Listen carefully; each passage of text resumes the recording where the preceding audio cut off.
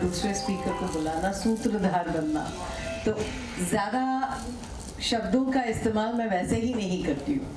तो और उन्होंने पाँच मिनट कहा था, मैं उसको दो ढाई मिनट में अपनी बात ख़त्म करूँगी। बिकॉज़ ना मैं कहानीकार हूँ, ना मैं कवि हूँ। बस मैं एक कलाकार हूँ जो आपके समक्ष यहाँ पर खड़ी हूँ। शब्द शब्द में भ्रम हो, शब्द शब्द में सार, शब्द कुछ ऐसे कहो जिससे मिले प्यार। और ये शब्द दो दिन पहले मैंने कामनी जी की फेसबुक पर देखा था।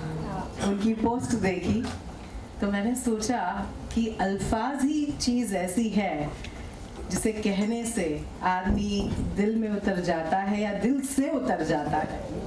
लेकिन कामनी जी के जो एक एक शब्द हैं, वो जिस तरह पिरोती हैं, पिरोती चली जाती हैं और आप सभी का प्यार बांटती चली जाती हैं, ग्रहण करती चली जाती हैं। और उनके, उनकी सभी के बिना इंसान वो लिख नहीं सकता। वो कलम से में शब्द उतार नहीं सकता जो कामिनी जी ने किया है। क्योंकि सृजन पीड़ा से ही सृजन का निर्माण होता है। वो बहुत ही खूबसूरत सृजन होता है।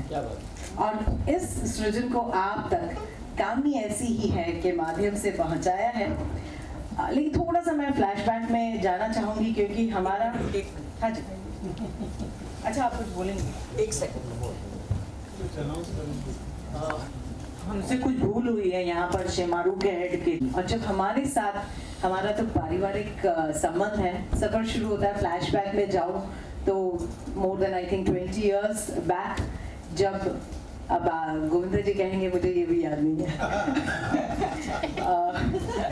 गोविंदा जी के कहने पर कामनी जी हमारे यहाँ आई थी, उन्होंने कहा, जब अनकही अकेली और रंग का विमोचन करना था तो आपने ये कहा था कि आप आशीर्वाद संस्था के डॉक्टर वाजपेयी जी से मिलिए और उनके ज़रिए अपनी इन किताबों का विमोचन करवाइए, क्योंकि आशीर्वाद साहित्य की सांस्कृतिक जगत की एक अग्रणी, मुंबई की अग्रणी संस्था है और वो हमारे घर आई और वाजपेयी जी जो यहाँ पर बैठे हुए हैं। उन्होंने साथ मिलकर इतना भव्य इतना खूबसूरत आयोजन किया था इस फॉर्म में कि आज तक हम सभी को याद है। आप बहुत छोटी थी तो। Even I was very young I am still young yes so हम uh, और तब से हमने एक एक जो किताबें देखी हैं कामनी जी की it is but natural she is heading for Guinness book of world. बहुत जल्द वहाँ तक पहुँच जाएँगे। क्योंकि अपनी कविता संग्रह में ज़िंदगी के जैसे हर पहलू को छूती है, वैसे ही चाहे वो ब्यूटी हो, चाहे वो म्यूज़िक हो, चाहे वो लेखनी हो, चाहे वो परफॉर्मेंस हो, हर पहलू को वो छूती आई है। इसलिए I will not take much of your time ladies and gentleman सिर्फ़ एक कविता, क्योंकि कामनी जी ने सिर्फ़ कविताओं को नहीं, गज़ल को भी छुआ है। सो आई वुड जस्ट एक नैरेट करूँगी, सिर्फ़ उतना। काफ़ी सारा नरेशन करना इच्छा थी करने की, लेकिन बहुत वक्त हो गया है। हम तो होते हैं। हम तो होते हैं, पर दीदावर नहीं होते। हम तो होते हैं, पर दीदावर नहीं होते। कद्र दानों के पहले से इजहार नहीं होते। खिल के क्या कर लेंगी वो कलियाँ? खिल के क्या कर लेंगी वो कलियाँ? जब चर्चे उनके हुस्न के सवार नहीं होते। बड़ी अजीब सी बनाई है रब ने ये दुनिया। कोई नूर के, कोई नूर के फाके हैं, कोई भी नूर बेकार नहीं होते। और ये नूर ऐसी हैं जो समाज के लिए काम आएँगी, कभी इनका शब्द बेकार नहीं जाएगा, हर एक के दिल को छुएगा और हर एक के दिल में समाएगा। सभी को एक बार मेरा नमस्कार, धन्यवाद।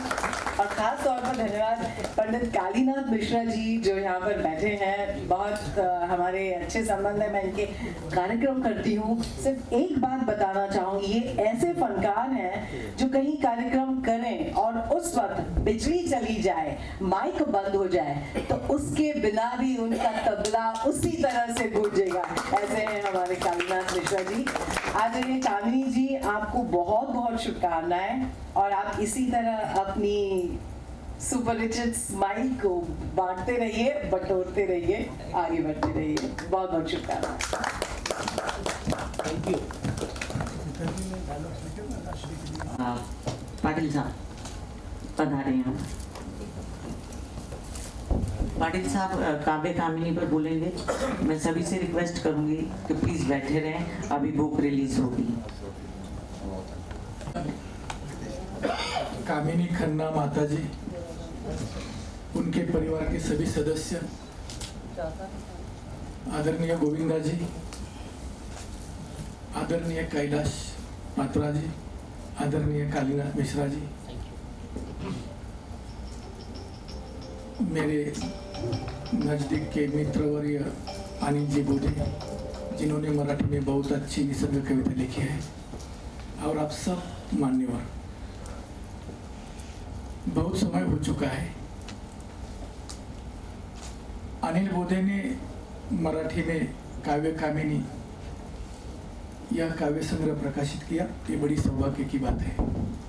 अपने बड़े भैया, कीर्ति कुमार जी को बुलाऊँगी, दो शब्द हैं। अब आप खूब हंसने वाले हैं। क्योंकि वो हंस रहे मैं दो ही शब्द बोलूँगा।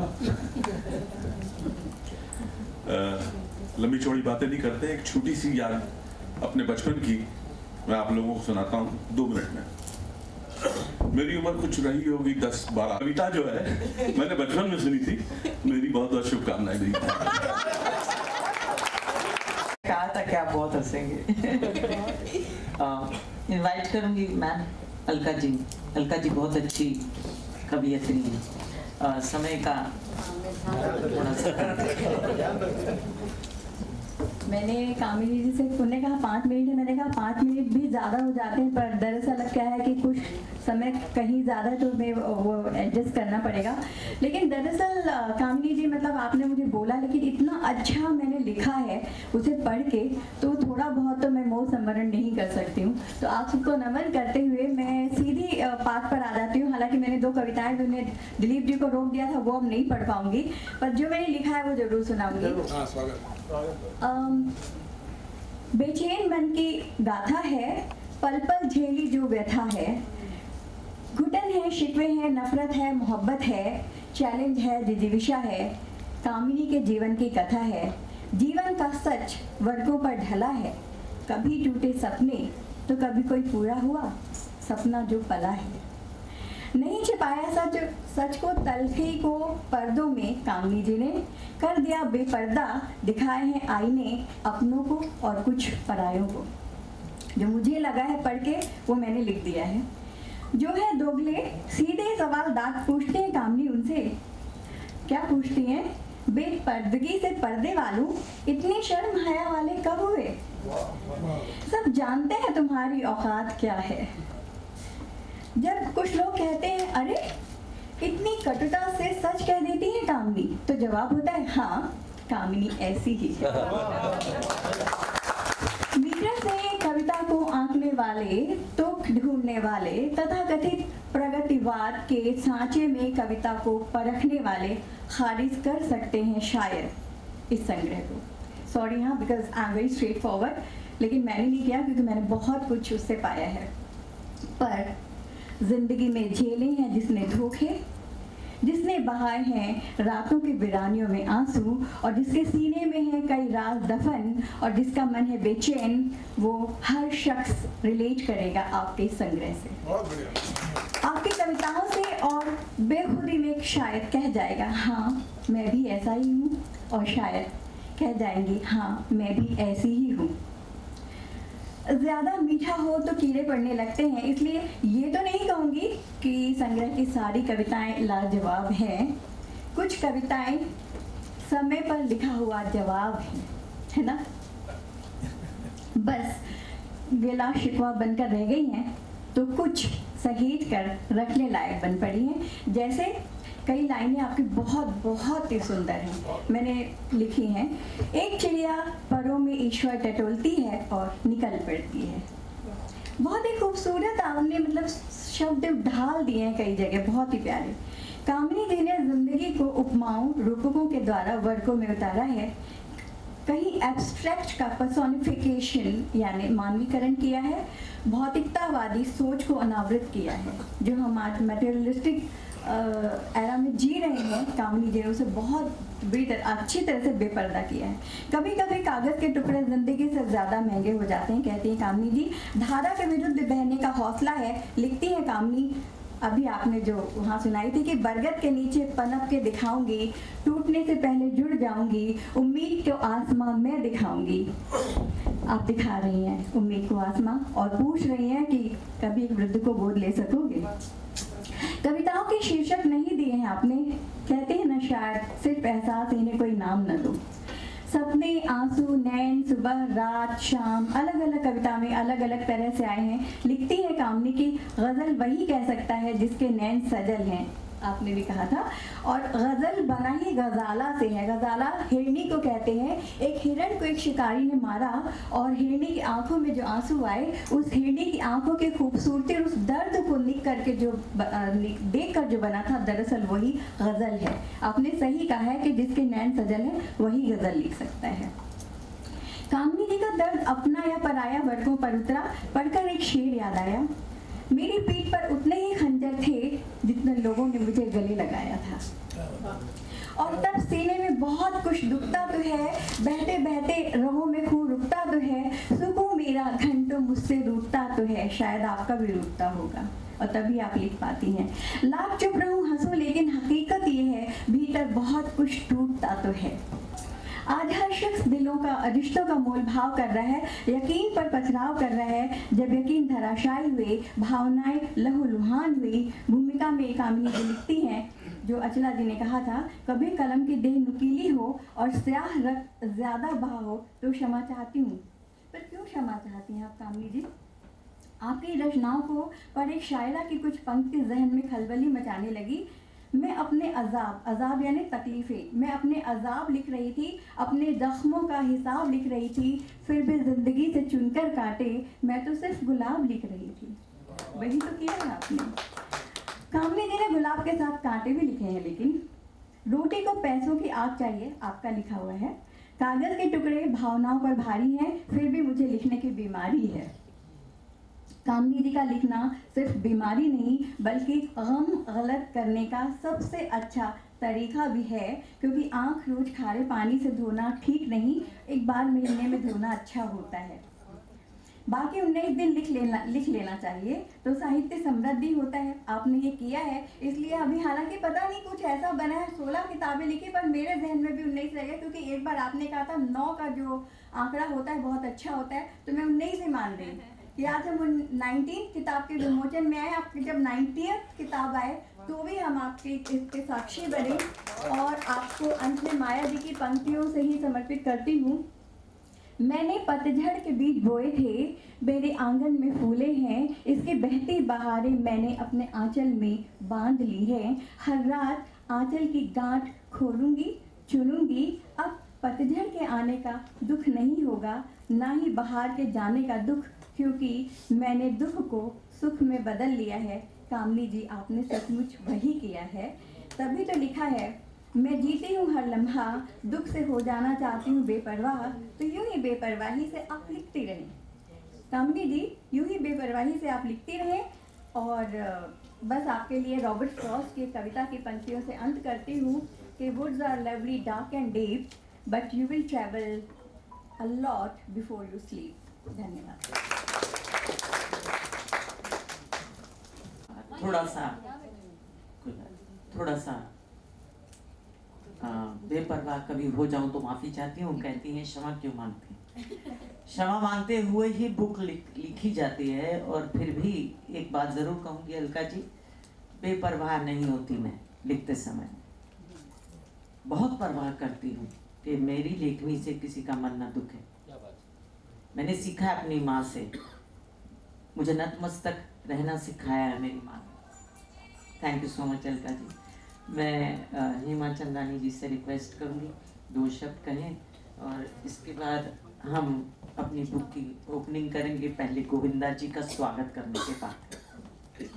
मुझे बेबी बोलते हैं घर बोले, निबंध लिखने के लिए बोला था। हम लोग मराठी स्टूडेंट्स थे टेंथ स्टैंडर्ड तक।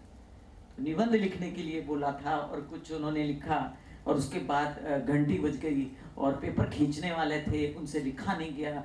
तो उन्होंने लिखा कि पाऊस आला आणि मी धावतोय धावतोय धावतोय धावतोय धावतोय धावतोय धावतोय धावतोय उन्होंने चार पेज लिखा। ये हमारे पप्पू भैया। अभी आप गोविंदा जी को भी जानेंगे। गोविंदा जी, एक बार, बहुत छोटे दो ढाई साल के, मुझे इनकी मेमोरीज बहुत याद रहती। तो हमारे घर में चौंकियाँ होती थी सोने के लिए। बहुत चपटी चपटी चौंकियाँ होती थी। पर एक दिन ये फंस गए बीच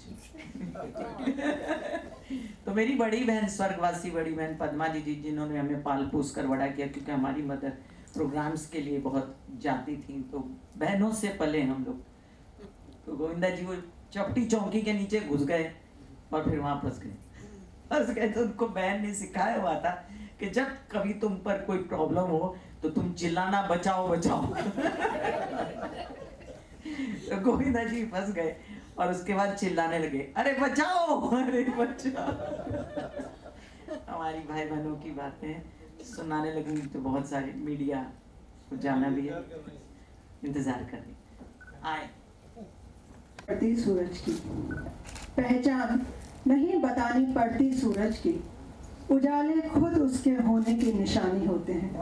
उजाले खुद उसके होने की निशानी होते हैं। और कामिनी जी ही शायद एक ऐसी लेखिका है, जिनकी एक, उनकी लिखी हुई पुस्तक और उन पे लिखी हुई पुस्तक का जिस लेखक के जीवन में एक साथ विमोचन हो रहा है। बहुत बहुत बधाई। और बहुत ज़्यादा नहीं बोलूँगी।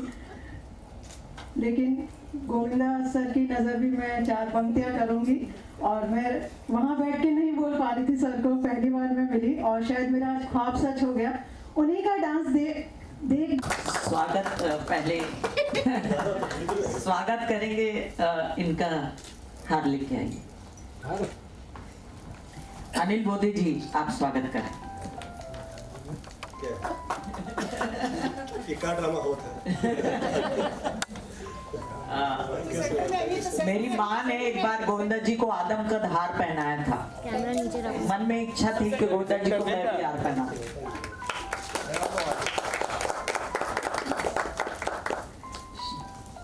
किसी किसी का फ़ोन बज रहा है। प्लीज़ स्विच ऑफ़ कीजिए। पधार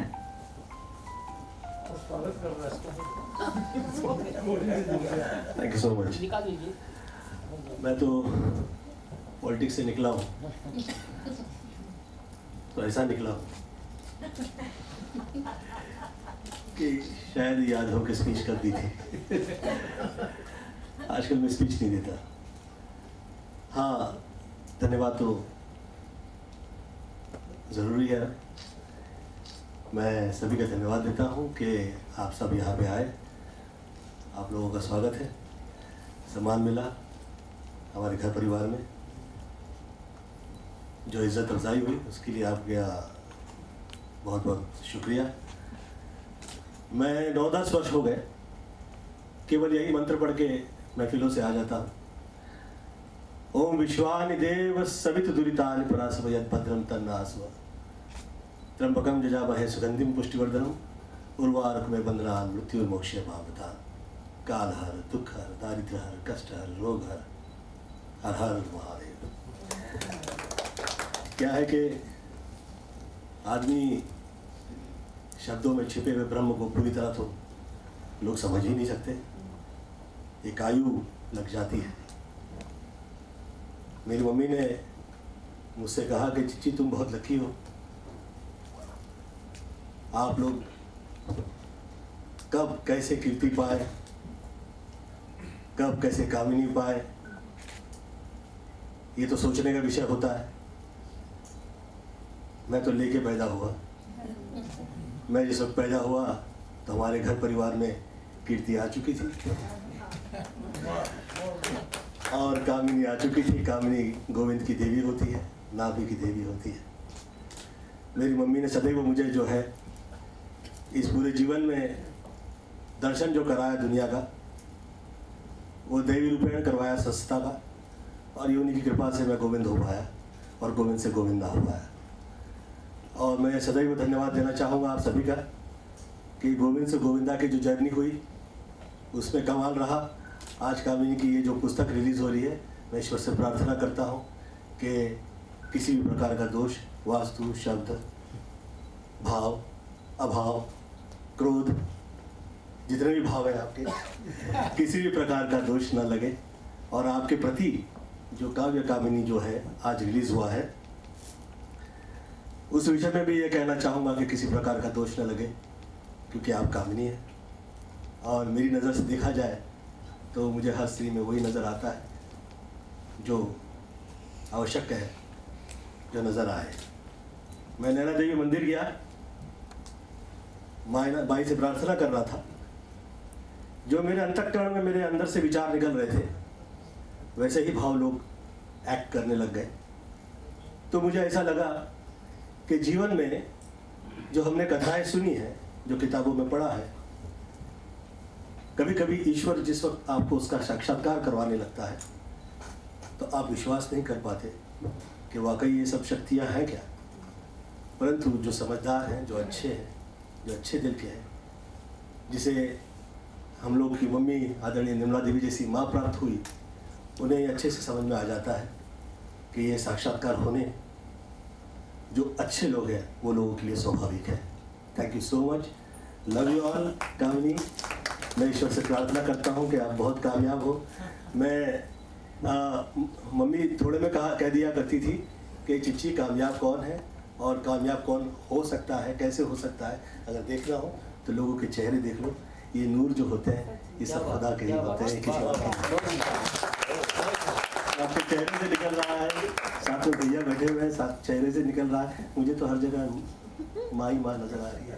Love you all thank you so much आदरणीय अलका जी आदरणीय पाटिल साहब जो सम्मान आप लोगों ने दिया उसके लिए बहुत बहुत धन्यवाद। आ, नहीं कह के भी मैंने इतनी स्पीच दे दी। उसके लिए माफ़ी चाहता हूँ। थैंक यू सो मच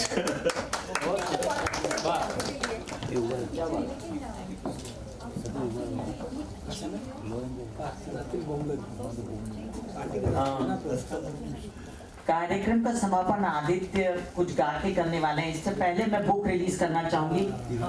आप सब मंच पे आदित्य आप भी मंच पे आए। और यहाँ पर जो मेरे बच्चे